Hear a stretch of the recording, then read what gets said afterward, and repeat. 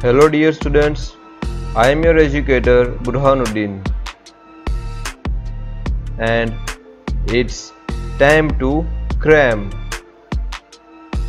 This is the series of acid, base and salt chapter 2 class 10.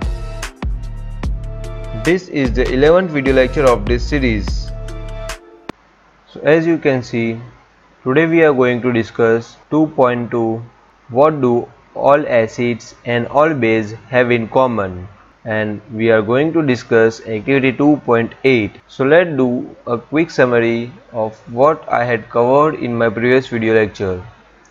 I had completed introduction then understanding chemical properties of acid and bases. Then I had made rapid revision videos on chemical properties of acid and bases which will be very helpful to you. And then today we are going to see topic 2.2 so these are the list of topic which I had covered in 2.1 with the help of activities.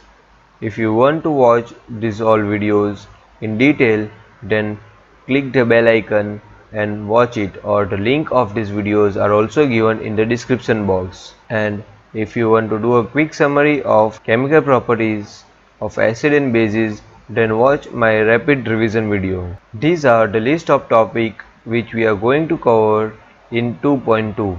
These are the list of topics which we are going to cover in 2.2 that is activity 2.8 then 2.1.1 what happens to an acid or a base in a water solution and activity 2.9 and activity 2.10. I had made notes of this video lecture and uploaded it on bloggers. To download these notes, link of blogger is given in the description box. So, what do an acids and all bases have in common? So, in section 2.1, we have seen that all acids have similar chemical properties. What leads us to this similarity in properties?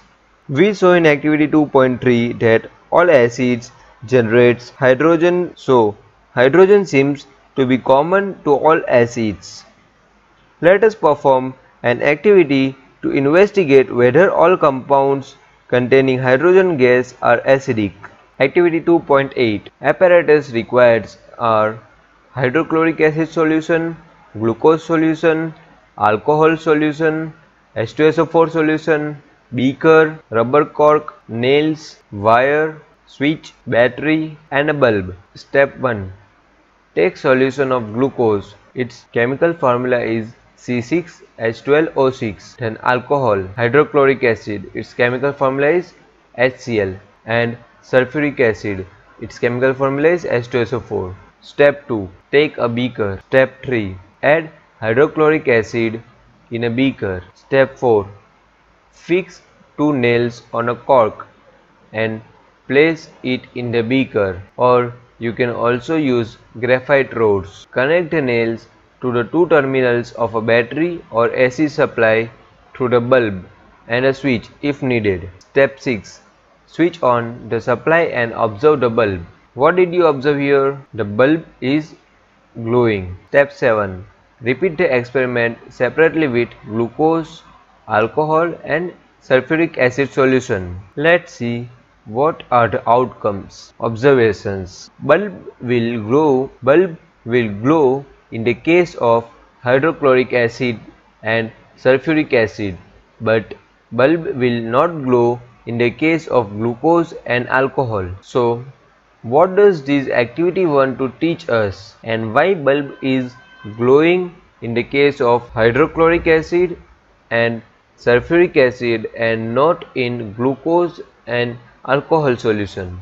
The bulb will start glowing in the case of acids but you will observe that glucose and alcohol solution do not conduct electricity. Glowing of the bulb indicates that there is a flow of electric current through the solution and the electric current is carried through the solutions by ions. So, glucose and alcohol do not conduct electricity.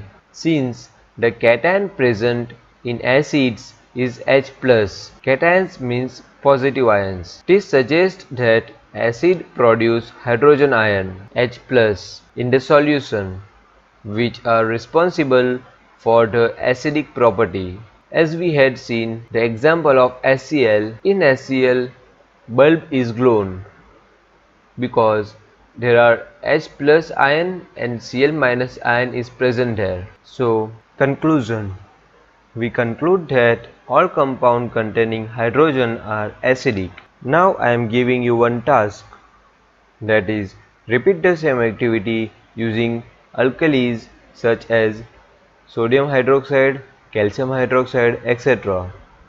What can you conclude from this activity? Comment the answer of this question or you don't know the answer of this question then go to the blogger link I had uploaded the PDF of this video lecture. You will find answer of this question there. Topic which will be covered in next video lecture is section 2.1.1 what happens to an acid or a base in a water solution. That's all for today's video lecture. Thank you. And if you find this video lecture informative then like it and share it with your friends.